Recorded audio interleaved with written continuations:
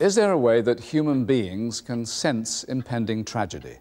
Some of the worst disasters in history have been foretold by those who claim to have premonitions.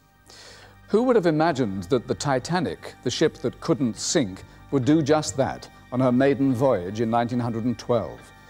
Well, 14 years before, this book came out. It told of the largest ship afloat, rich and famous passengers, a collision with an iceberg, a sinking, and not enough lifeboats. The ship was called the Titan. But if premonitions are so accurate, can nothing be done to stop them becoming reality?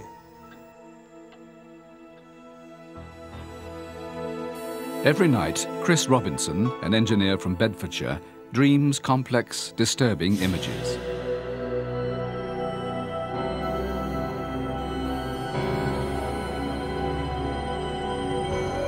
Dreams that apparently come true and they've been so accurate that the authorities listened to his warnings. He is designated a contact, and then really we act as a filter to see what he is saying and try and make something of it. If I'm crazy, they're crazy too, and they're not crazy, so this is really happening. Chris Robinson makes notes of his dreams. The images at first are meaningless, but when he decodes them, they seem to predict dramatic events. Dogs mean terrorists. Fish mean terrorists about to be caught. Snow means that the situation that I'm looking at is imminent and it's dangerous. Chris saw danger when he had a series of dreams about a Royal Air Force base, Stanmore Park in Middlesex.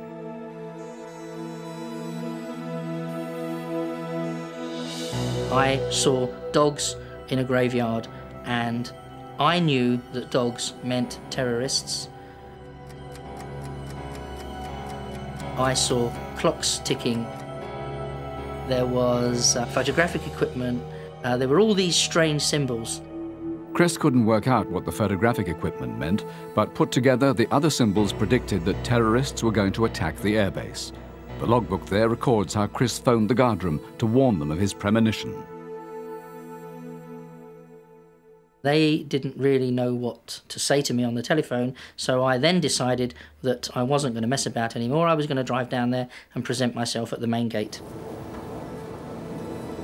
Can't really explain what it feels like to know that something is going to happen that you can't possibly really know in advance. Hello, sir.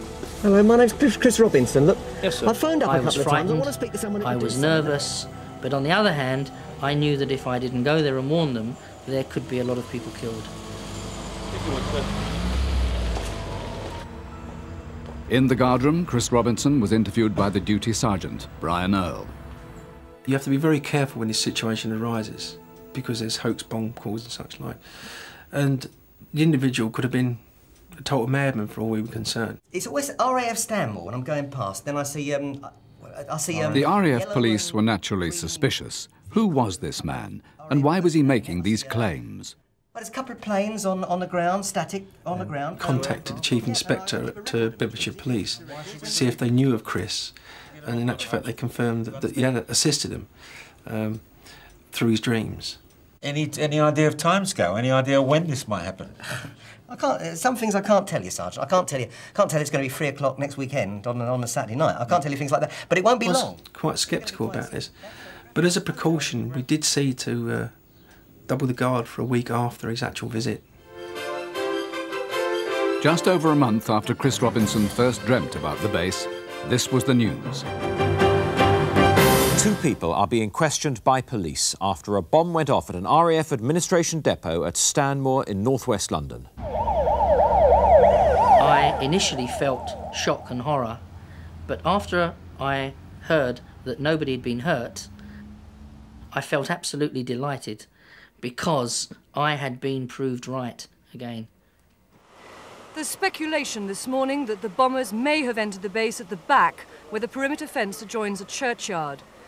I'd had the dogs, that meant the terrorists. I'd had the clocks ticking, that meant the bombs. But I'd also had this photographic equipment.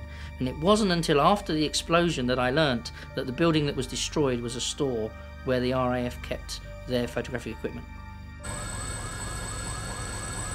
But was it really such a surprise? Terrorists had attacked four military targets in just over a month. Chris Robinson's premonition about Stanmore Park could have been just a lucky guess or coincidence. What about this, what about this vehicle, Mr. Robinson? What about this yellow and green vehicle? Uh, It could be just one in a billion chances. For instance, plane crashes. Uh, statistics show that there's one major plane crash in the world somewhere every two weeks. Coincidence can indeed explain away many cases. To me, I think that Chris Robinson's results are beyond coincidence. He's certainly come up with many interesting cases of things that are most unlikely to occur. And these interest me because they're not trivial things. Dan Eldon was only 22, but already a brilliant news photographer. He'd grown up in Africa. Covering the war in Somalia, he was taking pictures of an attack by American helicopter gunships when a Somali mob turned on him and killed him. What wasn't known at the time of his death was that a few weeks earlier, Dan's mother Kathy had been warned by Chris Robinson that her son was in grave danger. Chris was very concerned and came over to my house with a dream that he had had about a swarm of bees around my family. She then told me that her son was in Africa, and I said to Kathy, um, I feel that the problem could be him, um, so please tell him to be careful. Up to that point, no journalists had been killed. And I believe that Dan, with his streetwise aspect in, in Africa and the fact that he was friends with so many people, that he would somehow make it through. The images Chris Robinson saw made his fears for the young photographer grow. But he couldn't see enough to prevent what was about to happen. Chris talked with a close friend of mine uh, on the weekend before Dan was killed. He had a number of images that he couldn't make sense of. Four dead photographers, in seaside place, salt water will damage the lens, F4, rescue me, Kathy. Afterwards, it just makes so much sense. It's frightening. Talking about cameras, telescopic lenses, four dead photographers, there were indeed four who were killed salt water affecting the lens. Uh, they were in Mogadishu, which is a seaside town. And Dan, the day before he was killed, was photographing women Marines in bikinis on the beach in Mogadishu. The f4 is the kind of lens that Dan was using. Rescue me, rescue me, and Kathy. That all makes sense to me.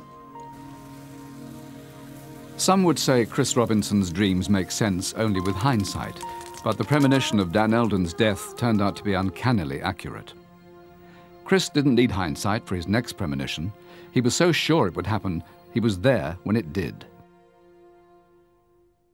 I'd had a series of dreams about an airfield, and I wondered why this was because I had no plans to visit an airbase or anything. And in the dreams, there was rockets, there was aeroplanes, there was explosions in the sky, what did it all mean this time? Chris called his contact at Bedfordshire Police. He then described seeing these rockets going up in the sky and then colliding, and these crowns coming down. In Chris's next dream, the crowns became parachutes. Suddenly, he knew what was about to happen. All these dreams um, made me realise that there was going to be a plane crash. But where and when? The following morning, he phoned a friend, national newspaper astrologer Penny Thornton. He'd just heard about an event taking place that day. Chris was very enthusiastic about going to an air show, um, simply because it somehow confirmed or affirmed to him um, the imagery of two planes crashing and fireworks and the parachutes descending, which he'd had in his dream.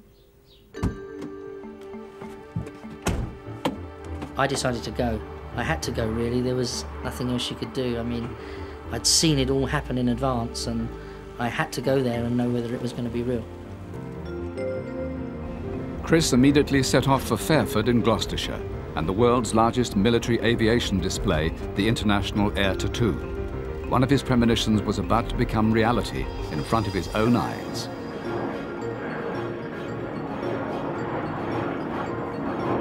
I was absolutely convinced that this was going to happen. I wasn't sad or upset because I knew that the pilots of the planes came down safely on their parachutes.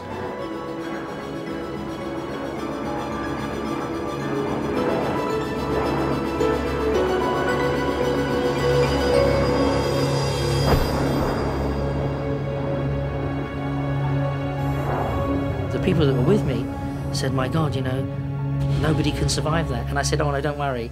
In my dream, they come out on their parachutes, there's no problem. Two Russian fighter planes collided today above tens of thousands of people at an international air show in Gloucestershire. Both pilots ejected and were only slightly injured. On the Saturday afternoon, Chris rang me at home. His initial words were, You'll never guess where I am. I was at the right place at the right time, but how did I know in advance? The pilots didn't.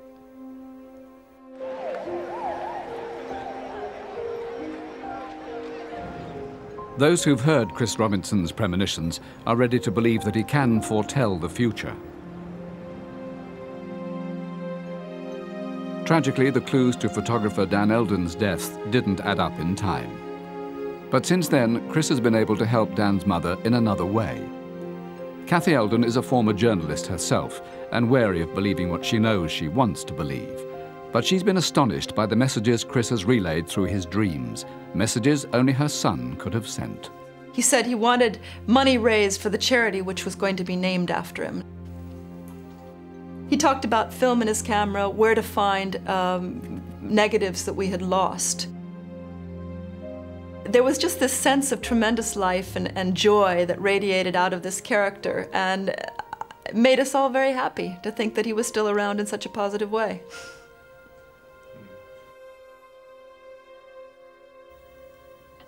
After Dan Eldon's death, those remarkable pictures were gathered together and published as a tribute.